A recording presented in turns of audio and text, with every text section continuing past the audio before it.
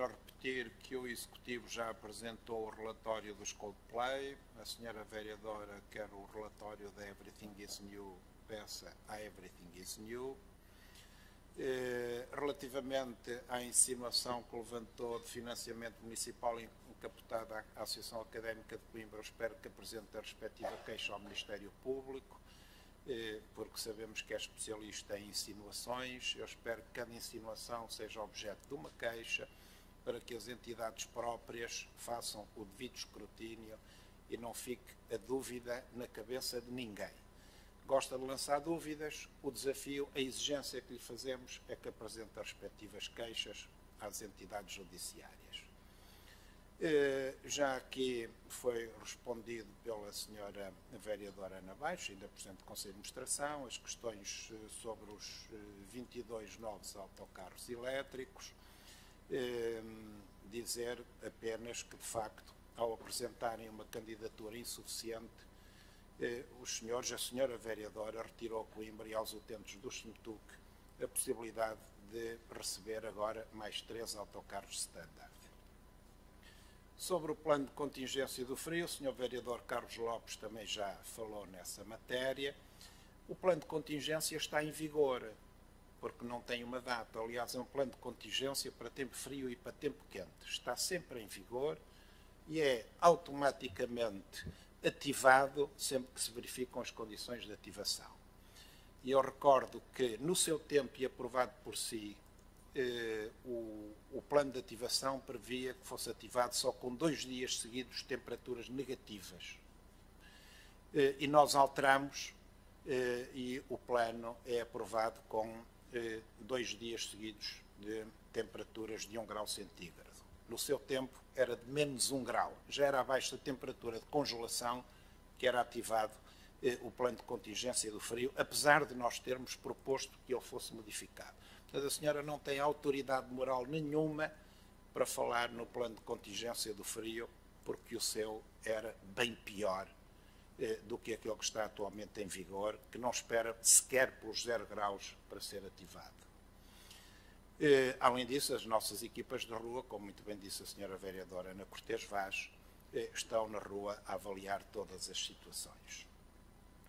Uma nota também de regozijo pelo trabalho do Centro de Digitalização do Arquivo de Coimbra, referido pelo Sr. Vereador Francisco Queiroz, e agradecer o trabalho fantástico que os serviços estão a desenvolver, mas convém referir que as máquinas que atualmente estão a funcionar estavam desativadas quando nós tomamos posse. Ou seja, o centro de digitalização do arquivo de Coimbra não estava a funcionar quando nós tomamos posse. As máquinas estavam paradas, com o software desatualizado, empacotadas. Eh, há cerca de dois anos estava empacotado um, investimento de cerca de 200 mil euros. Eh, nós tivemos que fazer um investimento para as pôr a funcionar e hoje, para benefício do município, dos municípios e dos serviços, o Centro de Digitalização do Arquivo de Coimbra está a funcionar em pleno e, como disse o Sr. Vereador, a libertar prateleiras com um trabalho notável eh, pela respectiva divisão, que eu aqui também quero sublinhar e agradecer. Registro também com tristeza o encerramento de Samambaia, não sabia, Uh, espero que possa reabrir e espero que os outros espaços emblemáticos do bairro Norte de Matos resistam aos novos tempos e que o bairro Norte de Matos mantenha as suas características tão próprias e tão específicas que, de facto, quando alguém fala em bairro, toda a gente sabe que se refere ao bairro Norte de Matos. Mas para isso também é essencial desenvolver Coimbra, aumentar o número de residentes em Coimbra, para que o comércio tradicional continue a ter os clientes que necessita para sobreviver. Sobre a alta velocidade, a senhora vereadora Ana Bastos já falou. Eh, dizer apenas que, embora tecnicamente se diga que a linha do Norte vai ser quadruplicada na zona de Taveiro e noutras zonas, eh, as pessoas podem pensar que o número de linhas que lá estão vão ser quadruplicadas. Não é verdade, vão ser duplicadas, ou seja, as linhas vão passar de duas para quatro e não duas para oito eh, tecnicamente usa-se a palavra quadruplicação, mas de facto o que está em causa é uma duplicação de linhas, portanto as pessoas não precisam ficar em pânico, olhar ali para aquele espaço e pensar que ele vai quadruplicar. Não, vai apenas duplicar. Ainda hoje tive a oportunidade de dizer a um programa de televisão que nós consideramos urgente o lançamento do concurso da linha de alta velocidade. Aliás, como disse a senhora vereadora Ana Bastos, temos sido suficientemente incisivos na defesa eh, da linha de alta velocidade e da sua urgência e importância estratégica para Coimbra, ao contrário de alguns dirigentes do Partido Socialista, que infelizmente manifestam publicamente uma visão prejudicial aos interesses de Coimbra.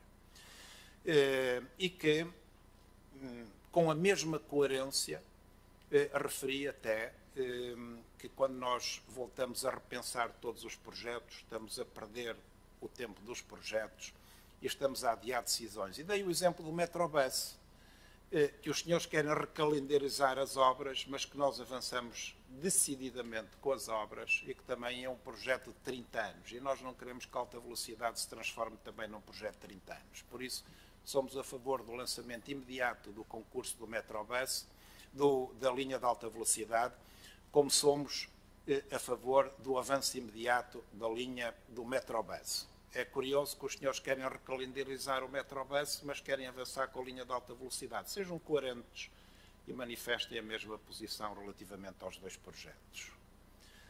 Ehm, volto a reafirmar que a Associação Académica de Coimbra deve organizar as suas próprias comemorações sem paternalismos e sem tutelas políticas. Eh, sobre Brasfemes, é bom falarmos de Brasfemes, porque hoje temos mais uma prenda de, agora já não é Natal, é de novo para Brasfemes, resolvendo problemas que o Partido Socialista não resolveu. Uh, e o elencar das insuficiências que o Sr. Vereador Hernani Caniça aqui nos trouxe é recordar que, que nada disso fizeram em oito anos e que nós estamos cá há dois anos. Se o povo assim quiser, ainda temos quatro vezes mais tempo e, e quando chegarmos ao fim se o povo assim o mandar, do nosso segundo mandato, os problemas de Brasfemos estão, estarão resolvidos. E já aqui o demonstramos, eh, quer na última reunião, quer na atual, estamos a resolver problemas de Brasfemos que os senhores não, não resolveram e eram problemas que nem sequer necessitavam de investimento. Eram questões administrativas e burocráticas. Nem isso foram capazes de fazer. Quanto à questão das lombas, também está a ser feito, agora de forma tecnicamente correta, o que em oito anos o anterior Executivo não fez. Portanto, relativamente a estas matérias, estamos de facto bem conversados.